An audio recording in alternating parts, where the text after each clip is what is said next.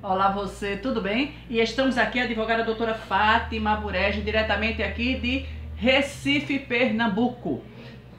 E hoje vamos falar, queridos, de um assunto que as pessoas sempre estão nos questionando, né? Uma situação que a pessoa pergunta, a pessoa tem uma dúvida, a pessoa, não é, tá ali inseguro com referência a alguma coisa. Doutora, veja só, eu me separei, foi estabelecida uma pensão para eu dar para minha mulher.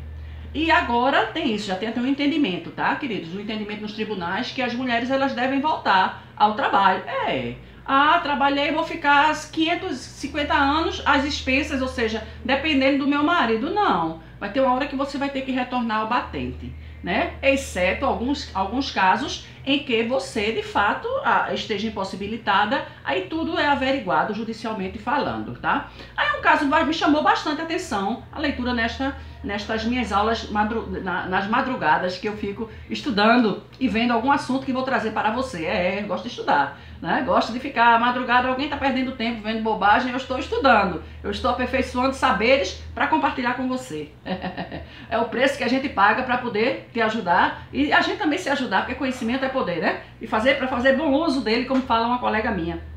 Então, assim, é, é, eu estava e ali eu vi um um, um fato bem inusitado. Foi estabelecida em 2002 uma pensão de dois mil reais, em 2002, uma pensão para ex-mulher. A pensão, ela seria é, para ex-mulher do, do, do, do, é, é, do devedor de alimentos. Disse, olha, você está divorciando dela tal, e vai dois anos para ela se reinserir ao, ao, ao trabalho, para ela se ela voltar ao mercado, ela se, se, é, é, se capacitar e ela retornar ao batente. Tá bom.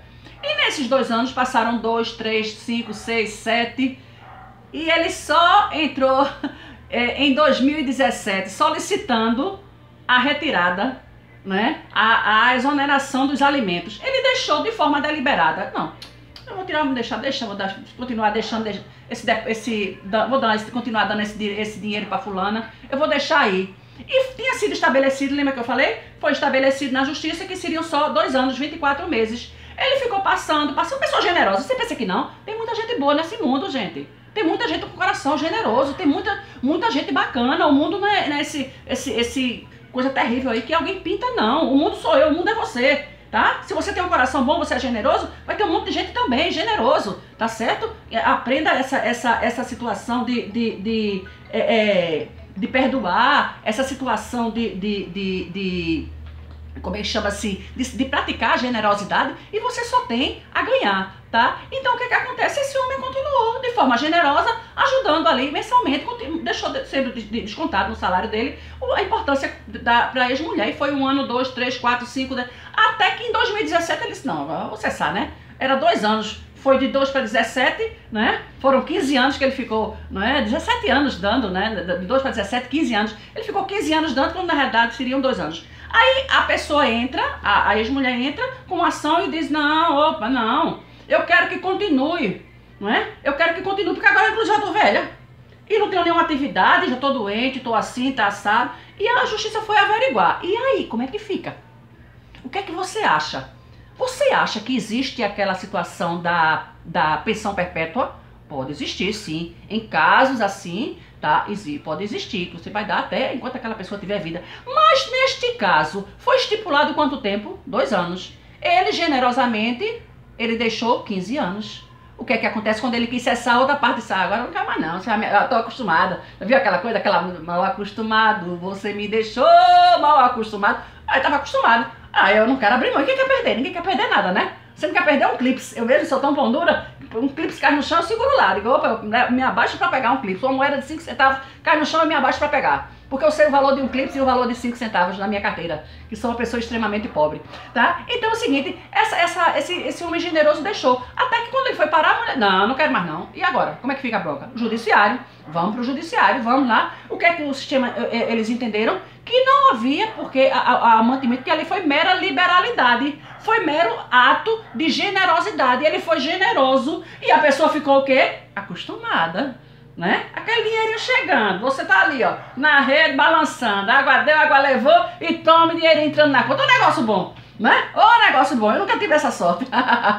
eu nunca tive essa sorte. Trabalho duro pra caramba, tá certo? Sou a favor de você lutar. É vendedor de, de macaxeira? Venda macaxeira e seja feliz, rapaz. Ah, ah, eu sou um mega empresário. Graças a Deus pela sua vida, vai em frente.